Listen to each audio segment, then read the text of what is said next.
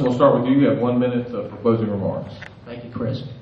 These are certainly challenging times for all levels of government, just like with individuals and families.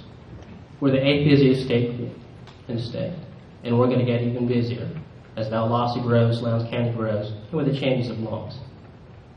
The goal is to meet these challenges while uh, forever always trying to improve our services to the courts, the legal system, law enforcement, and ultimately the public at large. You meet these challenges through implementing programs, utilizing technology, working on your practice and procedures, but most of all through people.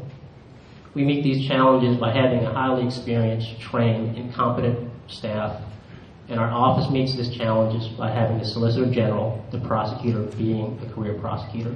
So in this race for prosecutor, I ask you to vote for the candidate with the most prosecuting experience, for the candidate that has the most trial experience, who's received the most training, who's worked with the most victims in law enforcement.